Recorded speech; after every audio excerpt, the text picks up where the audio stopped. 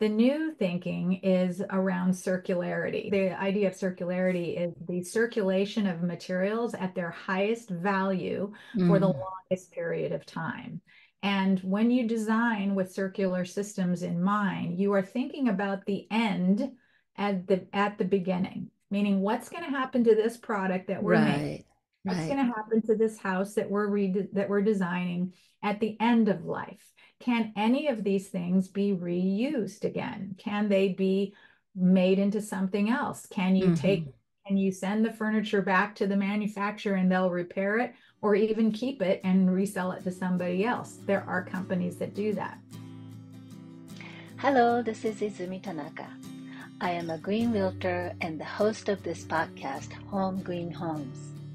About a year ago, I interviewed Katie Story, a founder of Good Future Design Alliance, which she created to educate the professionals in the building and designing industry to reduce the massive waste this industry generates. Today, Kathryn Soter, the new executive director, gives us the update on the organization's mission, as well as some practical tips when designing, redesigning, or renovating homes, or even when we need to replace a piece of furniture to help reduce our waste. Here's Kathryn. Here we go, Kathryn. Thank you so much. And so you can you can briefly tell us a little bit of a background about the Good Future Design Alliance. We are calling GFDA, and, and I know you have prepared a deck for us, so you can start sharing your slides and tell me about GFDA. Great. Well, I really appreciate being here today. Um, we have been around for about three, we're going into our fourth year now and uh, very excited. We had started out um, just before COVID, so uh, that was always uh, a little bit hard to get a new organization off the ground, but we are off and running. Um, we are a movement of design and build professionals that are committed to uh, adopting low waste practices uh, in the design and build industry. And the goal really is to reduce uh, uh construction waste for future generations. Uh, people don't really know just how big the problem is, um, but we now have grown from when you probably talked to Katie a couple of years ago to a couple of chapters, but we now have four chapters and uh, members all over the United States and a few from other countries. And they're all what I would call the leaders of this movement. These are the design and build professionals that your audience might want to hire that know about how to adapt low waste practices and uh, make a difference in our uh, health of our climate uh, and our planet and the inhabitants that live on it. Mm-hmm. And so I know you have some really great statistics. Um, let's hear about the, the facts. Sure, absolutely. So yeah. uh, both Katie and I were in the design uh, industry. I was on the um, sales side and Katie was on the design side, and I used to work with her. Mm-hmm. And uh, both of us were kind of appalled at the amount of waste that we would see, not only in sometimes excessive transportation, but also mm-hmm. in packaging waste and just the amount of debris that got thrown away. So we, mm-hmm. as an organization, started to really look into that to make some sense of it and like, how big is this problem? Is it just us, or you know, is this is this uh, more widespread? And the sad facts eh, are that we toss enough furniture away each year to furnish one bedroom apartments for almost nine million people. Wow. And the other fact is that in landfills, most of the furniture is less than 15 years old. Mm. So it's hmm. really quite sad that we are throwing away perfectly good uh, furniture um, when we could, eh, you know, use those resources to uh, for a much better cause. Um, the other thing is just textiles that we discard just from furniture manufacturing could um, provide pillows for about half the people on the planet. Wow. The waste in textiles, you probably heard about the fashion industry coming mm. a lot mm-hmm. of scrutiny because it's even um, more uh, of an, an, issue with um, textile manufacturing, but uh, for for uh, fabrics and uh, clothing. Mm-hmm. But what people don't realize is that construction waste is second only to um, food waste. Uh, so we throw away 500 million tons of construction debris. 90% of that is from demolition alone. And if we Mm. just start there by not decon, you know, by deconstructing and not throwing away so much, we could make a serious dent in the problem. But people have a hard time relating to 500 million tons. Like, I don't know what that is. Um, Right. calculations. Um, it is uh, about a trillion pounds. So what I try to do is I, I ask people, I don't know if you have ever been to Egypt and seen the Great Pyramids, uh, Mhm. but the largest one, the Pyramid of Giza, is about the equivalent of a 45 story building. It's two, it's a couple of football fields uh, wide or length in each length uh, of it. Um, and I would like to say that, you know, throwing away one of those uh, would be the equivalent of 500 million tons, but it's Wow. not. Wow. It's, it's much more than that. Oh my God. 100 of those. Wow. And this is just in the US and it's just once a year. So Just in the US? yes, and every year. Oh my God. This is where we sort of want to take a pause and say, you know, the amount of waste created uh, is an extraordinary and staggering amount. Um, and we have to think about it very carefully.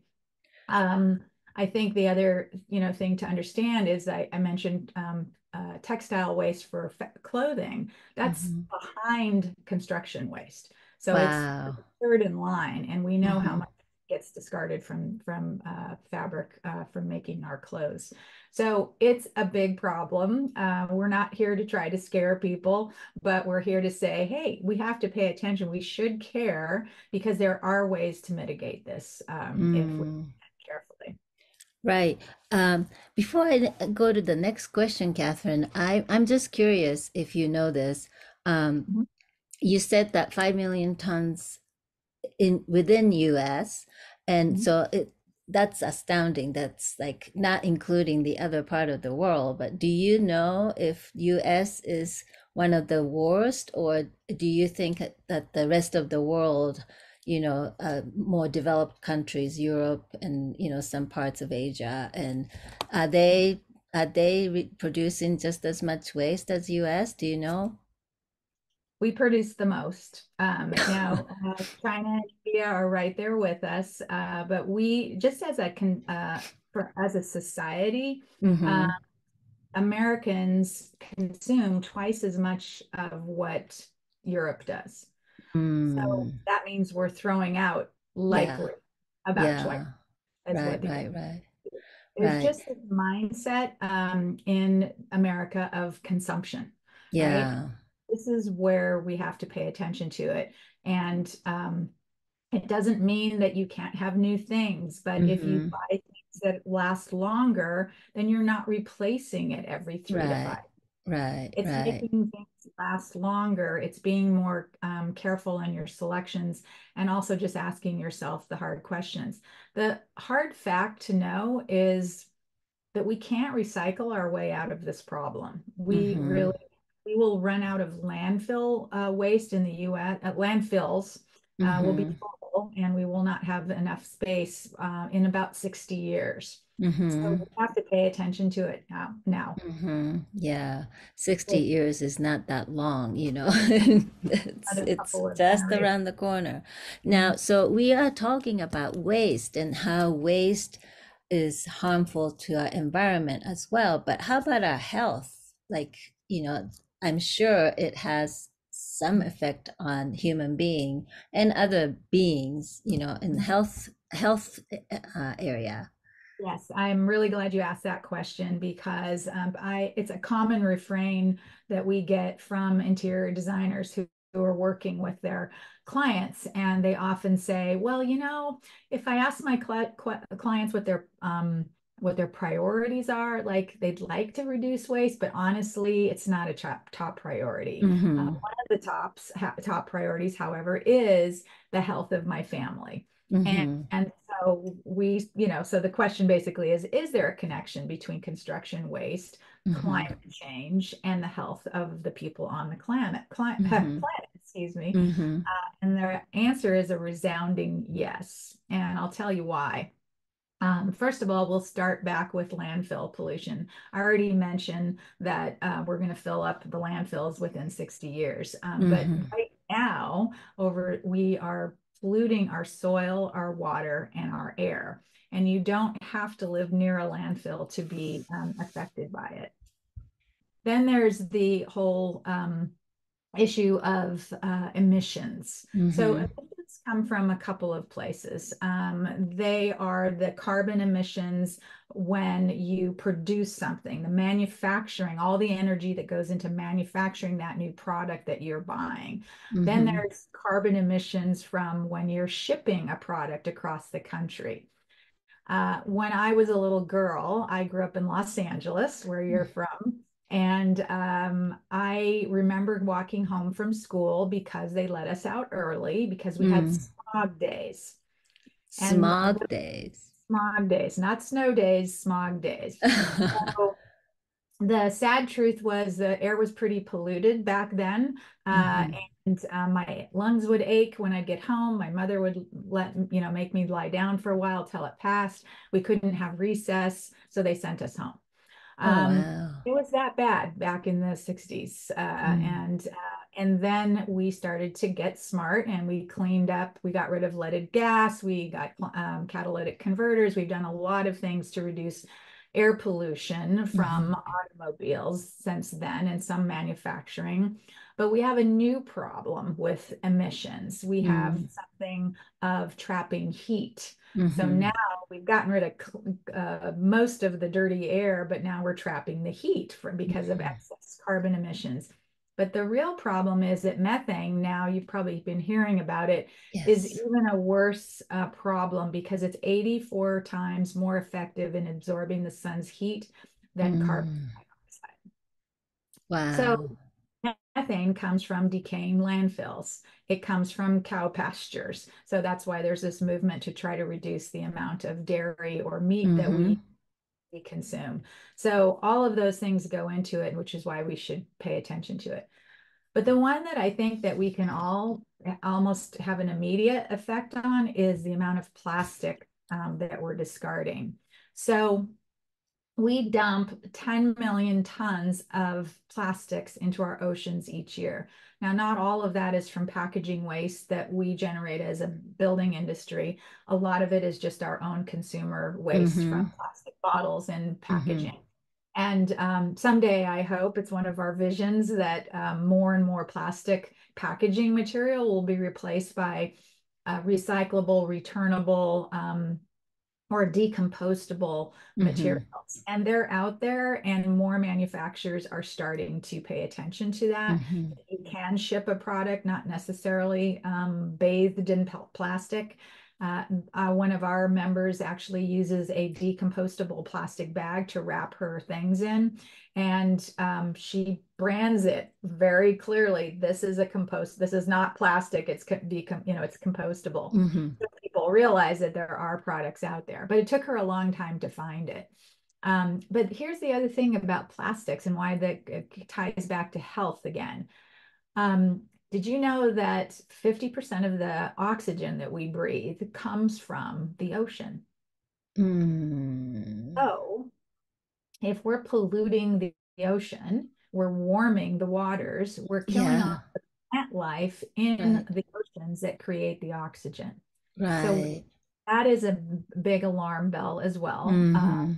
Between landfills polluting the soil and the water, and plastics polluting our oceans that are generating oxygen, and the methane gas and the CO2 kind of creating this uh, heat bubble, we are really doing irreparable damage to the um, planet if we don't start to shift course. And that's what the Mhm. whole climate change change movement is about, is about the man-made contributions to Mhm. climate warming or planet Mhm. warming. And so, yes, um, there is a connection between health and our climate. Very much so, isn't it? It's like we don't And think what- about it or we don't take it for granted. You know, we take it for granted, like the air we breathe. like who who would think that you know when you're living in and I am living in the mountain and I'm a little bit far from the ocean today and I wouldn't think about the plastic pollution that might be affecting the oxygen I breathe. Mm-hmm. Yeah. That yeah, that is, you know, that's something that we all have to become more aware of. I agree. And the, the, the so all the waste that we are talking about that mm-hmm. comes from the building industry and designing industry, and I understand like um, you know a lot of the packagings contain plastic and and things like that but you know what are the other the ways that we are talking about like um and where do they come from other than you know manufacturing process? Well, and construction where, process. yeah here's where it can be really valuable for anybody that's watching this uh, webinar. Um, because we it, either if you're a consumer or you're a designer or you're the homeowner or a designer or a developer or an architect or a contractor one third of the waste that we generate as an industry comes mm-hmm. from decisions that are made before the project starts mm. here's where homeowners can take responsibility by being more mindful of this and we'll get into that in a second um, here's where designers and architects can properly select materials and think about what, things that could be salvaged at the beginning of a project. But a lot of it is not making mistakes. So mm-hmm. it's a result of flaws. If we've made a mistake, we've over ordered, we didn't communicate properly with the installer, um, uh, there's too much excess that now is going to get thrown away Mm. All of these types of things go into, um, you know, what um, what constitutes a decision made before it even starts. So right. sometimes it's um, a really complex design that requires excess materials just for a small piece of it. Mm-hmm. Mm-hmm. Uh, mitigate some of that, but a lot of it is coordination and communications. Um, so things get done on time. There's um, many manufacturers that will do just in time um, manufacturing, which definitely saves waste. There's a movement about 3D printing in mm-hmm. materials, um, both from from concrete to furniture manufacturing, that reduces a lot of um, waste. And then um, a lot, one third, or actually 30% of all construction, not just the waste, mm-hmm. is actually rework. So that means you've changed your mind. You didn't like the way that turned oh, out. Oh, wow. Happens. You got to mm-hmm. rip it mm-hmm. out, start over. Well, the guy mm. ripping it is on a time schedule. You're now in a hurry, and, right. and he has to discard that stuff. He's not going to take the time to deconstruct it, see what boards can be salvaged, whatever, right. the windows, etc., that you just pulled out. Mm-hmm. Now, granted, if you don't make mistakes, if you can minimize them as much as possible, some of that will, you know, that's a way to reduce those kinds of rework mistakes. But a lot of rework comes from just not planning carefully. Right. You know, if people would take more time in the planning process and carefully lay out their steps um, and work very closely with their designers and communicate and spend more time thinking about how a room or a home is going to be remodeled, you can reduce the amount of rework. And then mm-hmm. sometimes rework is just because you just didn't like the finish. Um, okay, maybe that, you know, maybe you could live with it, maybe not. Maybe it doesn't require a whole ripping out. Try to think really carefully about. Mm. But that's a real easy way. So between a third of all waste coming from things starting at the beginning and you know again careful planning and communication is a huge part of it making sure all your documents are accurate make, making sure all the communications are accurate but then rethinking the rework and trying not to make re- mistakes um, to avoid that. So mm-hmm. that's a big part of it. Um, and as an organization, what the GFDA is about is really connecting the dots. So I'm big on communication. And so the whole mm-hmm. genesis of our organization was to connect interior designers and architects and contractors and manufacturers because a lot of what I just pointed to, these these mistakes that are happening are often those gaps where those little orange arrows are, those gaps in between um, the communication tri uh, you know uh, uh, sphere. So if we get interior designers, architects, contractors on board early on in a project and they're all on the same page with the same goals in mind, then the communications will go more smoothly. And mm-hmm. uh, so, what we're trying to do is educate all of these people um, with courses uh, that we're developing and uh, consulting practices and partnerships with other organizations that um, uh, either provide services or great products or a place to buy or donate your things, mm-hmm. and then just this whole amount of resource sharing within our market. And for homeowners or developers, you know, we we want to encourage you to work with um, trained professionals in this area because it makes your life so much easier if you um, know of a designer or an architect that from that adopt these practices and do it every day and that's just the way they approach their their project. It will go as fast. Things might may not cost as much as you think and there are often tax benefits from um, resource donations. Mm-hmm. especially on higher end projects which people aren't realizing is that the more that you salvage and you can get a tax write-off that could offset the extra cost of a potential deconstruction of an entire building. Right. The thing that um, design the design team can do and again this all flows up to the client making the decisions right exactly um, is I know some designers that work with two contractors. They have mm. deconstruction experts and they have the builder. Mm. And because hmm. sometimes they're not the same people. Um, often we're trying to educate more builders to uh, embrace deconstruction and know how to do it right. Um, but some uh, designers say, look, I need to do this now. So they have their deconstruction team um, that can assess, get a price, and then identify the products that come out and actually will do it. And then the and then salvaged, and then um, the builder will come in and build the new the new um, right. item. Mm-hmm. Mm-hmm. That's how that can work as a partnership. So it's right. super important that, um, uh, that we do this.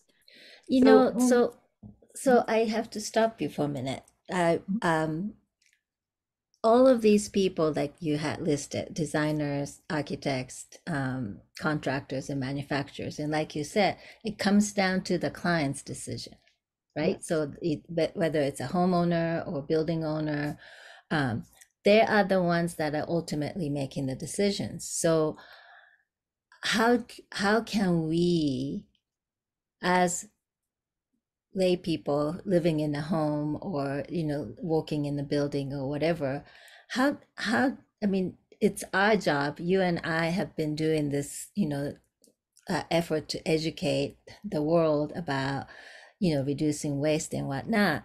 So i mean it just feels like such a huge task or it's almost daunting overwhelming. And what do we how what do you uh, suggest in terms of how can we as people who are not designer, architect, contractor, manufacturer, what can we do to be part of this movement?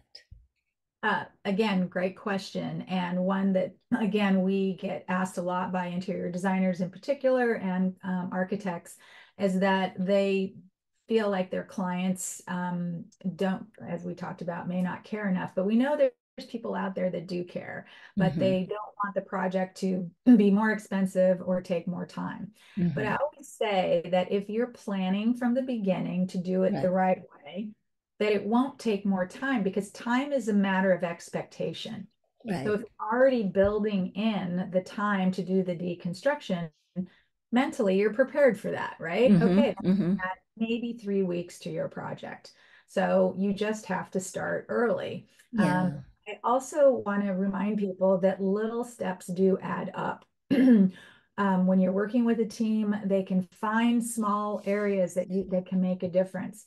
We talked about this um, before we started, which is like maybe, excuse me, you can find um, a few pieces of furniture that uh, you can use in another room uh, mm-hmm. or reupholster or or reconstruct uh, um, you know or re reupholster it or rebuild it uh, and uh, a good professional can guide you through that process uh, mm-hmm. then their selection of materials can also um, be something that you you won't have to sacrifice necessarily mm-hmm quality um, or design because they have their resources about really good materials. There are tile manufacturers that are B Corps, which mm. means they've gone the extra mile to um, mm-hmm. um, manufacture sustainably. Um, and um, that's a huge, there are many companies like that in all mm. aspects. There mm-hmm. are furniture companies that um, uh, package in low waste methods or design to disassemble. So these are the types of things that are um, steps that homeowners can embrace from the beginning of a project and realize that the, all those little steps add up. And right. that's why we we want you to think also about donations at the beginning. So there's many things you're going to want to throw out. Mm-hmm. Um, instead of just discarding them and having your contractor haul it away, he's likely going to take it to the dump. Right to pay for a dumping fee, what they call tipping fees in construction. So you might as well donate the the uh, usable pieces and get a tax benefit from that mm-hmm. than paying the contractor to dump it. Yeah. Um, so those are just a, a few uh, examples of ways that homeowners can make a difference. The selection of materials, low mm-hmm. things that are manufactured locally, save mm-hmm. on carbon emissions, and you can get them faster um, and with less packaging waste, right? If it's coming from um, a few miles away versus a few thousand miles away, just imagine the amount of um, less packaging waste and, and savings of time too. So those are just a few examples.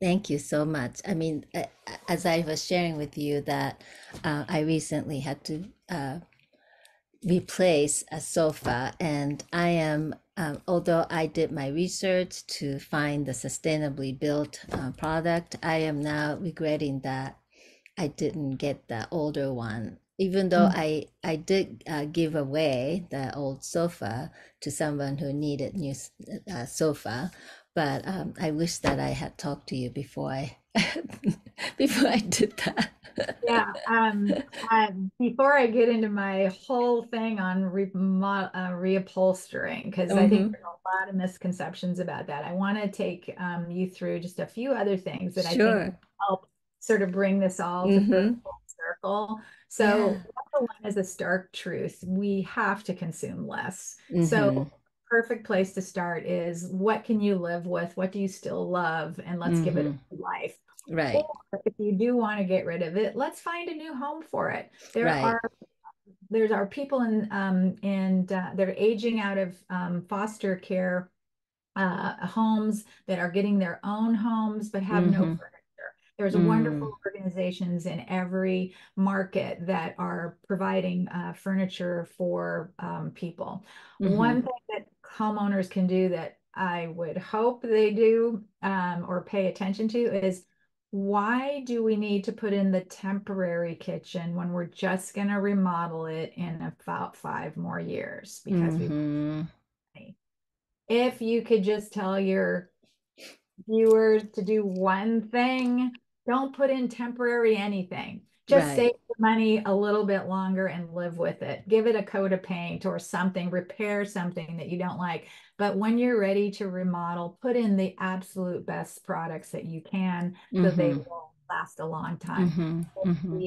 As I went, as I said in the beginning of my presentation, furniture that's in landfills, appliances that are in landfills are less than 15 years old. Yeah. So if we could stop doing the, um, uh, if we could be more mindful, if we will, mm-hmm. You know most of us care about this stuff but we have to really start to walk the talk right? Right right. Um, so this comes this goes to really shifting our thinking. Mm-hmm. and i want to make this point. This is the way we do things now. It's called linear thinking. We take some material we make it into something and then when we're done with it we throw it away so mm-hmm. it's a linear approach take make make waste The new thinking is around circularity. The idea of circularity is the circulation of materials at their highest value mm. for the mm. longest period of time.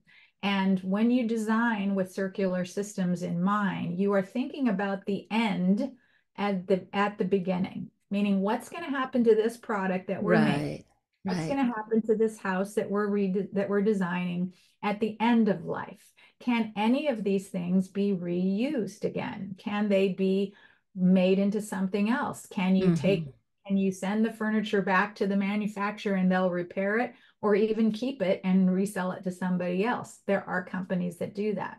Mm-hmm. So, circular thinking is starting with the end in mind. You plan, you design, and you construct very carefully um, using the absolute highest quality materials possible.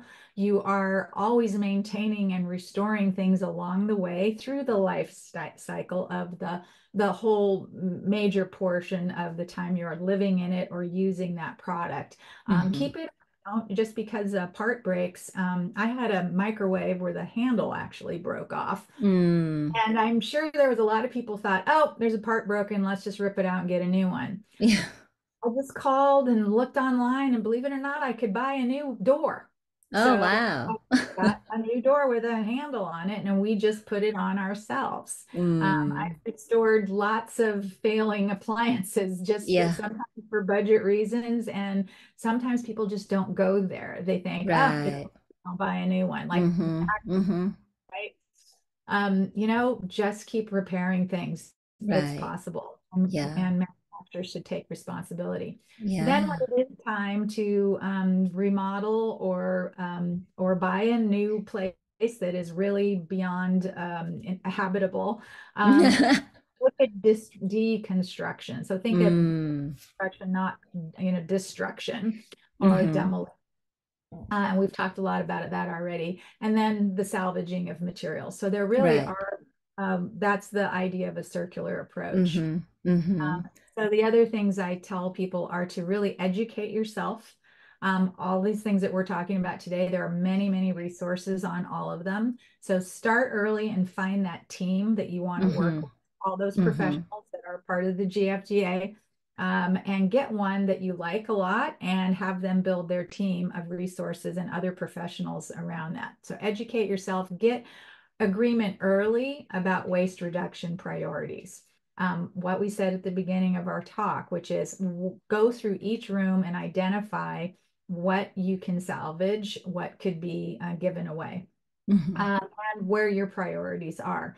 And then plan to keep track of your waste minimization. This is really important because it'll serve as um, reinforcement. It's like, oh my gosh, we got that locally, so we, you know, we saved on carbon emissions. Um, there was no little to no packaging because it was blanket wrapped um, or we didn't throw away all of this whole room of furniture. We actually rehomed it. Um, so that's great. Look at there's 15 pieces of furniture that found mm-hmm. a new mm-hmm. home. Mm-hmm. That's the type of thing you keep um, track of. It serves as a, a, reinforcement for what you're doing and motivation to try a little bit harder every time. And if you're a design professional, it's really important to share those kinds of things with your new clients too about how you can get there in case they're somewhat resistant. It's like, no, it's not hard. It all adds up and every little bit um, matters. If we, mul- it's a force multiplier if everybody listening to this and all their designer and their designer friends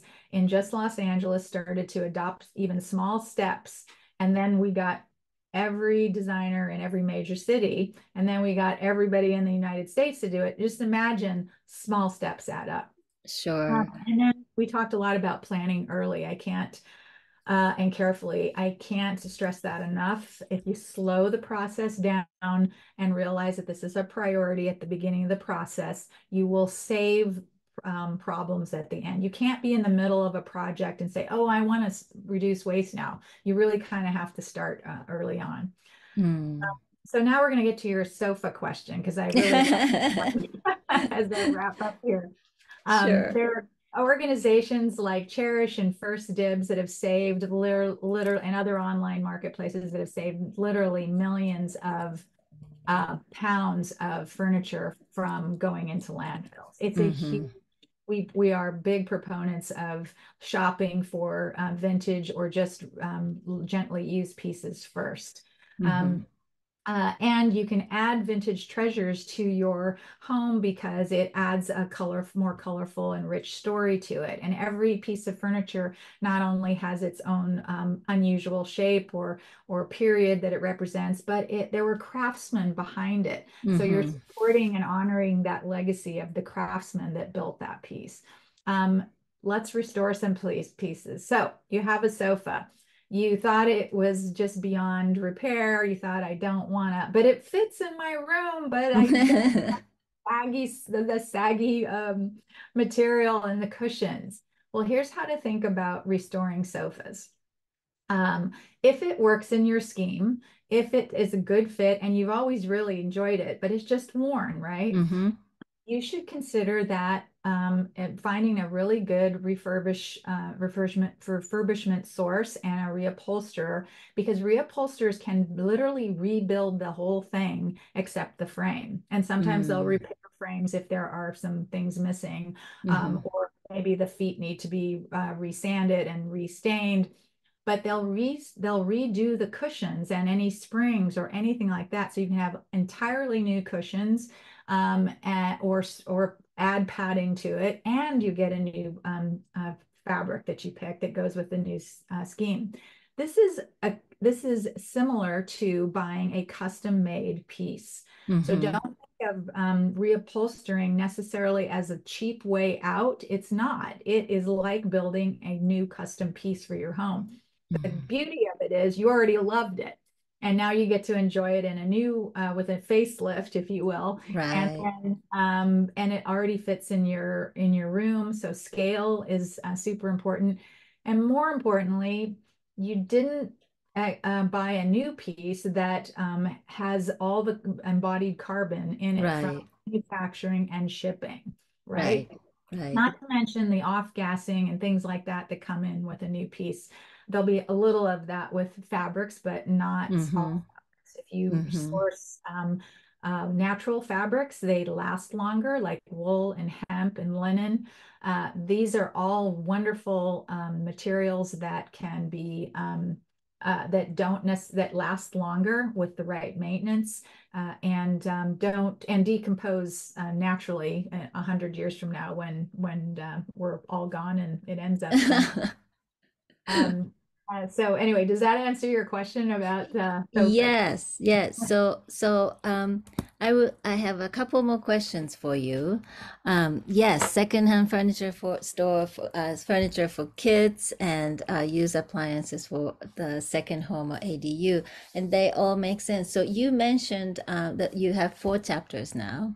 Um mm-hmm. and and and so GFDA is an organization serving those professionals, designers, architects, and contractors and manufacturers. But can um, homeowners or anybody like myself can come to your organization and look for uh, designers, uh, architects, and whatnot uh, who are within your organization that is uh, really uh, embracing this practice of reducing waste? Yes. Um, so I would say right now we are um, we're for a member only organization. Uh, mm-hmm. We do some education and provide resources for design professionals to work mm-hmm. together. Mm-hmm. But we get asked this a lot, and we are working on some um, educational modules that will be available to consumers. Uh, but if you're looking for a design professional, just contact us directly mm-hmm. Mm-hmm. and tell us where you live, and we'll give you a few names of people to contact. Uh, we'll see. start there. Someday we'll probably um, have uh, the ability to share the directory with consumers too. Mm-hmm. You, if you're not a um, design professional, but you want to pay the membership fee to get access to all of it, knock yourself out. Uh, mm-hmm. Uh, you can. Most consumers, you know, would only use it once, but right. um, I would say, you know, you, you could join, um, but uh, you might want to just find it faster if you just contact me, which is why I have my contact information up there. Yes, and I will put that in the show note as well. But here's my last question, Kathryn. Um, for those of those people who are not able to, or who have who don't have the means to hire professionals in the design field or building field or mm-hmm. they just want to you know do it there on their own do you have any resources that you can share for people to look for you know uh, we know about Chairish um, mm-hmm. you know Salvation Armies or uh, Habitat for Humanities may mm-hmm. have some of the uh, upcycled material or uh, recycled material. Do you have any other resources that you can share with people? Yeah, there are other organizations like Renovation Angel um, mm. that will take um, basically everything in your house. mm, okay. really, what they focus on is kitchens, um, mm-hmm. and they literally come in and take your entire kitchen out. Oh wow. Including the cabinets, providing they're in decent, you know, somewhat decent mm-hmm. shape. Um, mm-hmm. and find a new home for them. The mm-hmm. thing with the other point I'll make, um, and and so what you do have to do is look for your local resources. Right. There are many. They're popping up all the time. The mm-hmm. problem we have is to keep these people in business and doing the right thing, we also have to buy from them. Yeah. So why I say consider going to Renovation Angel if you don't want to spend a lot of money on appliances.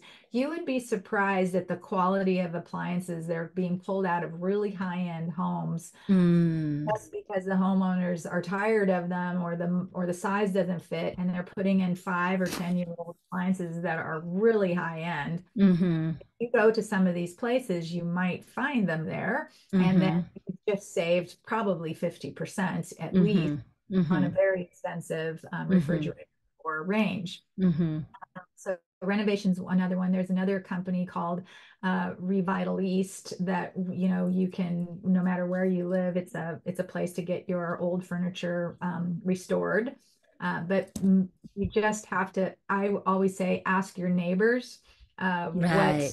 what donation places there are google it in your area mm-hmm. that's a way to do it um, mm-hmm. go on um, if you just you know look for your local resources.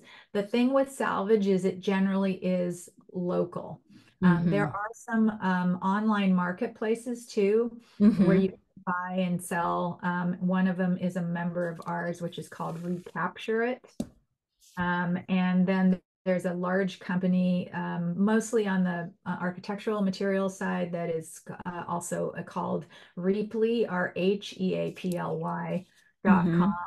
Um, and uh, they are again they they espouse you know buying from you know sinks and faucets and lighting fixtures like why spend top dollar on things that are perfectly good because right. people with you know high end things if you're working with a vintage home like mm-hmm. recap a lot of um, vintage 1950 homes and the doors are you know they have a certain style to them right. too know, windows sometimes so um, there are there are resources out there yeah.